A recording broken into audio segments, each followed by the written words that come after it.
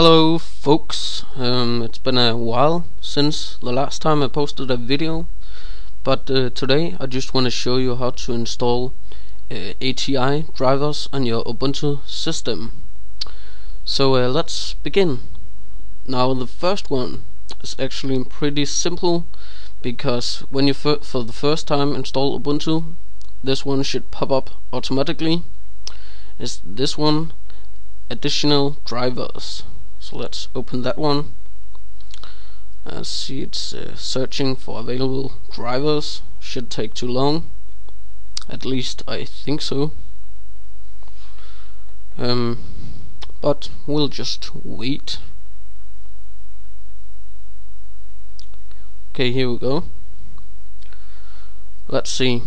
You will install this ATI slash AMD proprietary FGLRX graphics driver. So uh, what you do is just press this one uh, with me it says remove. With you it says something with install. So just press on that one and you have to um, restart your PC after. So um, that's pretty easy but the next one is if this doesn't pop up then you can go to let's see uh, Synaptics. It's right here. So let me zoom in. You can quick search for ATI and here we go. Okay AMD ATI display driver wrapper. This one. Uh, AMD ATI Radeon display driver. Um, so that there's a few um, options here. And of course you will need to install the FGLRX video driver for the ATI graphics accelerators. And let's see um, of course this one is very useful. Catalyst Control Center for the ATI graphics accelerators. So uh, that's a way to do that. Um, there's a few tools here you'll need utility to control the ATI Radeon backlight functions on laptops. So if you don't have a laptop with that specific thing, you don't need to install that. Uh, we have ATI Mach 64 display driver. Okay, there's a few here, but basically you just need to install them, and that's it so let's see. Yeah the third one last one actually is you just go to the AMD website and let's see support and drivers. Click on that one. And right here it says download graphics drivers. Uh, please select the value select the type of system that you have.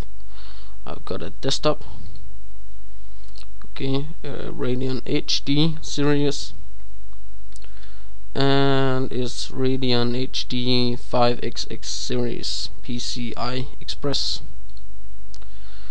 And I will select Linux 64-bit because that's one I'm using. You can also choose Linux 32-bit okay so we will display results and right here we got the driver. It says ATI Catalyst 10.10 proprietary Linux driver display driver.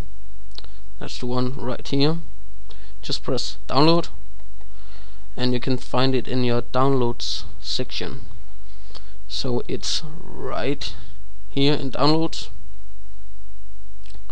Okay ATI driver installer. So when you just double click it will do like this okay oh no you can't do anything oh no. Yeah.